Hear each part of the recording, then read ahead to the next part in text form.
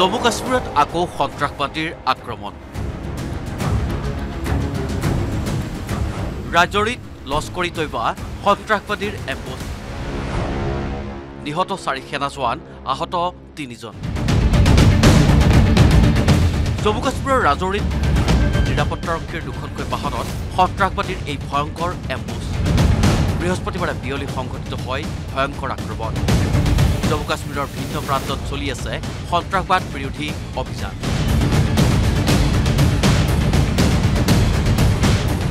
ৰাজৌৰীৰ থানামান্দিত সন্ত্ৰাসবাদীৰ এটা দলে বাহৰ পাতি থকাৰ তথ্য লাভ কৰিছিল ভাৰতীয় সেনাই। বুধবাৰৰ পৰা ভাৰতীয় সেনা আৰু নিৰাপত্তাৰক্ষীয়ে যুটীয়াভাৱে চলাইছিল সন্ত্ৰাসবাদ বিৰোধী অভিযান। বুধবাৰে চলা অভিযানৰ মাজতে বৃহস্পতিবাৰে অভিযানকাৰী দলটোক সহায়ৰ বাবে অতিৰিক্তভাৱে ৰাওনা হৈছিল আন এটা দল। এখন ট্ৰাক আৰু জিপচিৰে ৰাওনা হোৱা সেনা নিৰাপত্তাৰক্ষীৰ দলটোক থানামান্দি চোৰামকট অঞ্চলৰ ডেৰা কি গলিৰ এটা কিকুৰিত আক্ৰমণ কৰা সন্ত্ৰাসবাদীৰ এটা দলে। সেনা নিৰাপত্তাৰক্ষীৰ দলটোলৈ লক্ষ্য কৰি সন্ত্ৰাসবাদীয়ে চলাই নিৰ্বিচাৰ গুলীচালনা। এই আক্ৰমণত তিনিজন নিৰাপত্তাৰক্ষী ঘটনাস্থলীতে নিহত হয়। আনহাতে গুৰুতৰভাৱে আহত হয় আন চাৰিজন ভাৰতীয় জোৱান। পৰৱৰ্তী সময়ত গুৰুতৰভাৱে আহত হোৱা এজন সেনা জোৱানে হাস্পতালত চিকিৎসাধীন অৱস্থাতেই মৃত্যু সাৱটি লয়। আক্ৰমণটোৰ পিছতে পাকিস্তানৰ সন্ত্ৰাসবাদী সংগঠন লস্কৰ ই তৈবাৰে জড়িত হৈ থকা পিপুলছ এণ্টি ফেচিষ্ট ফ্ৰণ্ট নামৰ সংগঠনটোৱে ঘটনাৰ দায়িত্ব স্বীকাৰ কৰিছে। ঘটনাৰ পিছত সেনা নিৰাপত্তাৰক্ষীৰ দলটোৱে অধিক সক্ৰিয়তাৰে ডেৰাকি গলিত সন্ত্ৰাসবাদৰ বিৰুদ্ধে অভিযান আৰম্ভ কৰিছে। জম্মু কাশ্মীৰৰ ভূতপূৰ্ব মুখ্যমন্ত্ৰী গোলাম নবী আজাদ আৰু মেহবুবা মুফতিয়ে সন্ত্ৰাসবাদী আক্ৰমণক তীব্ৰ ভাষাৰে গৰিহণা দিছে।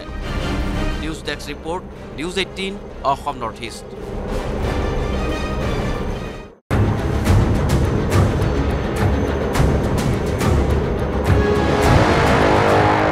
Jammu কাশ্মীৰত আকৌ সন্ত্ৰাসবাদীৰ আক্ৰমণ। ৰাজৰিত লস্কৰী তৈবা সন্ত্ৰাসবাদীৰ এম্বুজ নিহত চাৰি সেনা জোৱান আহত তিনিজন। জম্মু কাশ্মীৰৰ ৰাজৌৰীত নিৰাপত্তাৰক্ষীৰ দুখনকৈ বাহনত সন্ত্ৰাসবাদীৰ এই ভয়ংকৰ এম্বুজ বৃহস্পতিবাৰে বিয়লি সংঘটিত হয় ভয়ংকৰ আক্ৰমণ। জম্মু কাশ্মীৰৰ ভিন্ন প্ৰান্তত চলি আছে সন্ত্ৰাসবাদ বিৰোধী অভিযান। ৰাজৌৰীৰ থানামান্দিত সন্ত্ৰাসবাদীৰ এটা দলে বাহৰ পাতি থকাৰ তথ্য লাভ কৰিছিল ভাৰতীয় সেনাই। বুধবাৰৰ পৰা ভাৰতীয় সেনা আৰু নিৰাপত্তাৰক্ষীয়ে যুটীয়াভাৱে চলাইছিল সন্ত্ৰাসবাদ বিৰোধী অভিযান।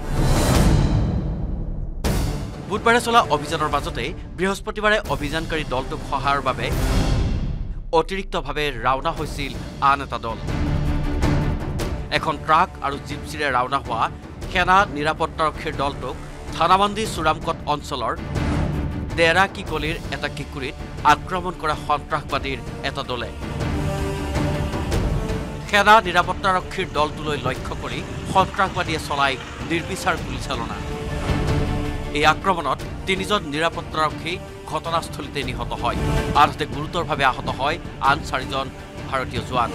পৰৱৰ্তী সময়ত গুৰুতৰভাৱে আহত হোৱা এজন সেনা জোৱানে হাস্পতালত চিকিৎসাধীন অৱস্থাতেই মৃত্যু সাৱটি লয়। আক্ৰমণটোৰ পিছতে পাকিস্তানৰ সন্ত্ৰাসবাদী সংগঠন লস্কৰ ই তৈবাৰে জড়িত হৈ থকা পিপুলছ এণ্টি ফেচিষ্ট ফ্ৰণ্ট নামৰ সংগঠনটোৱে ঘটনাৰ দায়িত্ব স্বীকাৰ কৰিছে। ঘটনাৰ পিছত সেনা নিৰাপত্তাৰক্ষীৰ দলটোৱে অধিক সক্ৰিয়তাৰে ডেৰাকি গলিত সন্ত্ৰাসবাদৰ বিৰুদ্ধে অভিযান আৰম্ভ কৰিছে। জম্মু কাশ্মীৰৰ ভূতপূৰ্ব মুখ্যমন্ত্ৰী গোলাম নবী আজাদ আৰু মেহবুবা মুফতিয়ে সন্ত্ৰাসবাদী আক্ৰমণক তীব্ৰ ভাষাৰে গৰিহণা দিছে। News desk report news eighteen Assam north east.